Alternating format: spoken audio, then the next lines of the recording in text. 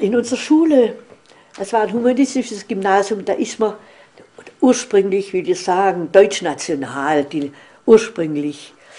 Uh, der erste Rektor, der, den ich erlebt habe, der war deutschnational. Der stand im Festsaal ans Vaterland, ans Teure, schließ dich an. Das sind die Wurzeln deiner Kraft. Das ist ein Ausspruch von Ernst Moritz Arndt, und Zeitgenosse, ein Freund von Fichte. Das sind die Wurzeln deiner Kraft.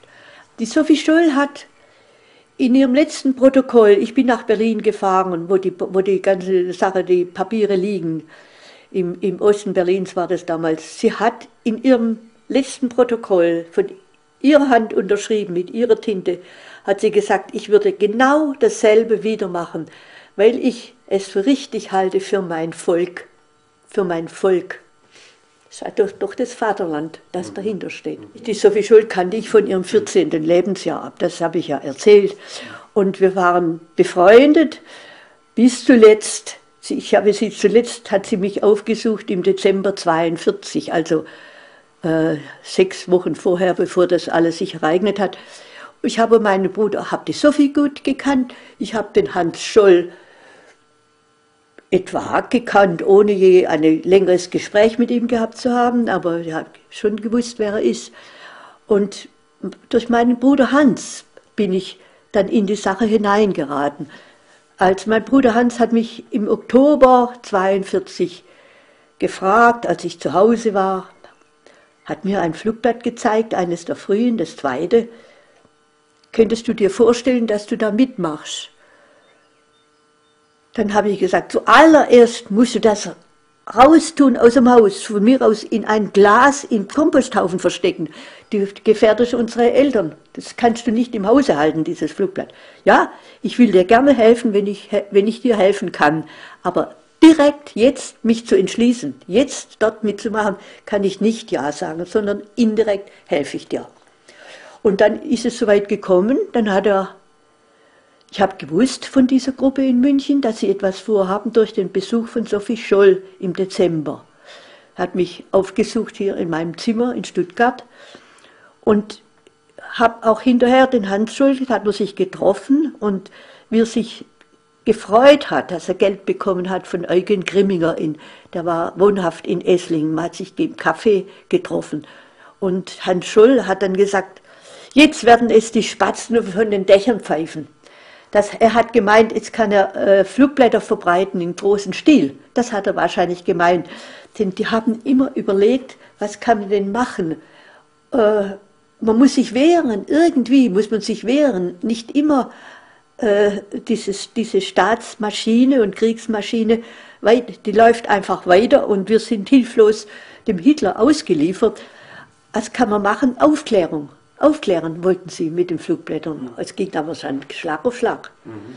Also, ich meine, die Sophie Scholl ist am 22. Februar umgebracht worden. Da bin, ich, da bin ich schon nach München transportiert worden, ohne zu wissen, dass sie nicht mehr lebt.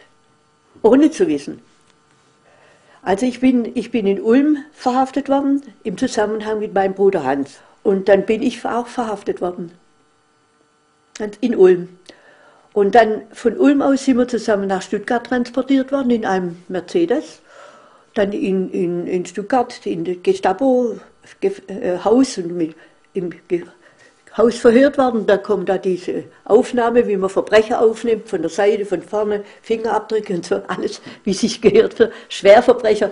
Und er hat uns gesagt, ja, Sie sind Schwerverbrecher und wer gegen den, diesen Staat ist, der wird vernichtet, hat er zu mir gesagt. Wer gegen diesen Staat ist, handelt und arbeitet und gesonnen ist, der wird vernichtet, hat mir der Beamte in Stuttgart gesagt.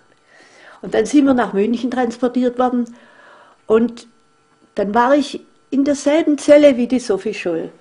Und nach zwei, drei Tagen habe ich erfahren, dass sie nicht mehr lebt. Aber nicht durch die Gestapo. Die hat mir, hat mir das vorenthalten. Ich habe ja ein Buch geschrieben, äh, weil ich mich so geärgert hat über diese dauernde Schuld, Vorwürfe von Schuld. Habe gedacht, ich muss mal schreiben, wie das war, damit dann jeder hinterher denken kann, was hätte denn ich gemacht. Ich habe dann immer wieder auch mit Jugendlichen Gespräche gehabt und vorgelesen und da kommt immer wieder die Frage, haben wir denn ein Vaterland? Wirklich? Das sind die Lehrer, die sie da äh, beeinflussen. Und äh, ich habe gesehen, wie wichtig das ist, ihnen zu sagen, dass es da ist, dass es das gibt. Und ich habe mich manchmal kaum losgelassen. Es ist so, es ist großer Bedarf da, zu sagen, ja, das haben wir aber selbstverständlich. Wir stehen stolz darauf. Wir haben große Gestalten in unserer deutschen Geschichte.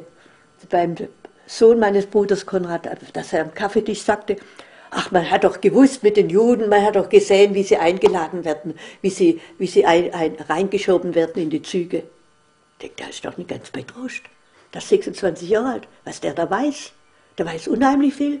Ha, unheimlich viel Falsches weiß der. Und von wem denn? Von den Lehrern und von seiner Mutter, wie ich dann gemerkt habe. Und dann habe ich gedacht, das gibt's nicht. Da muss ich schreiben. ich kann nicht dagegen. Das finde ich so unerhört. Diese Einstellung, diese Arroganz. Da habe ich gedacht, ich muss, ich kann nur das eine machen. Schreiben, wie es war. Dann soll er mir sagen, was er getan hätte damals. Dieser ewige Schuldvorwurf ist ganz schlimm für Deutschland, ist ganz schlimm.